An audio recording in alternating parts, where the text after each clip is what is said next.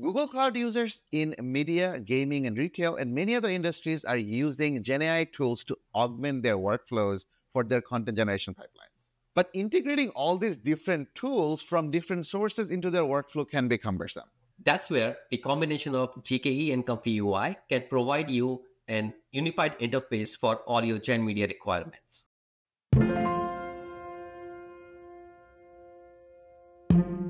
Let's say you are a technical artist and you want to storyboard your ideas and generate digital content. As part of the digital content, you want to generate images and videos. Maybe you will use stable diffusion model to generate the images. Once you have the image, you might want to feed the image into Nano Banana model offered by Google to overlap images or create a second image. Once you have the second image, then you might want to create some videos based on that image. It may require you to hop on between different interfaces like Vertex AI in Google Cloud or some other tools to be able to achieve all of this. Now, what if you have a unified interface to achieve all of this right from the beginning where you provide a text to generate an image until the point you get a video created? This is where Comfy UI on GKE can help you. With Comfy UI running on GKE, you can access your open models, your fine-tuned models, and Google's proprietary models like Imagen, Veo, and the latest one, Nano Banana. While ComfyUI gives you an easy to use visual workflow, if you are trying to do a number of tasks like add description to a thousand different images, that can be cumbersome and slow. That's where the ComfyUI API comes in. You can run your workflow in batch in a programmatic way and let GKE handle the scaling to give you a cost-effective and efficient solution. For running demanding media generation workflows in ComfyUI, you might need access to accelerators like TPUs and GPUs. In GKE Autopilot with Spot, DWS, and compute classes, you'll be able to get the resources when you need it, where you need it. So now let's use Comfy UI to generate image based on text. We will use stable diffusion model running on GKE. And as you can see, the text that I am going to provide is image of a man walking down the streets of Manhattan.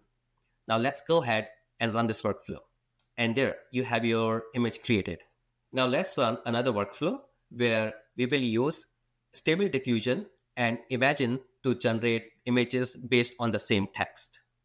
As you can see, the text that I'm going to provide here is image of a man walking down the streets of Manhattan. And I'm supplying the same text to both stable diffusion model as well as the Imagen model. Now let's go ahead and run this workflow and see the images generated. Boom, we have the images generated from two different models with the same text prompt. So in this way, you can generate the images based on different models. And also you can use the same model and play around with its configuration and parameters to generate different kinds of images. We can use ComfyUI for also generating videos. We have Veo models, but we also have options in open models.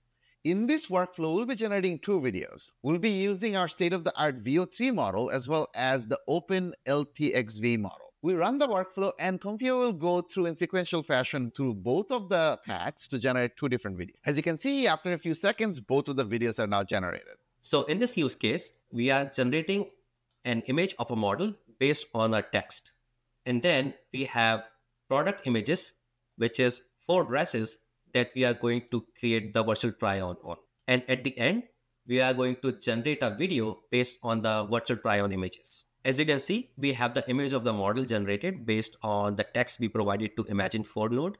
The virtual try-on model has given us four images using the product images. And now the Veo model has generated the videos based on the virtual try-on images. As you can see, we have got four videos created of each of the individual images that were passed to it. If you haven't heard already, Nano Banana or Gemini 2.5 Flash Image is our latest image generation model, which is really great at editing images.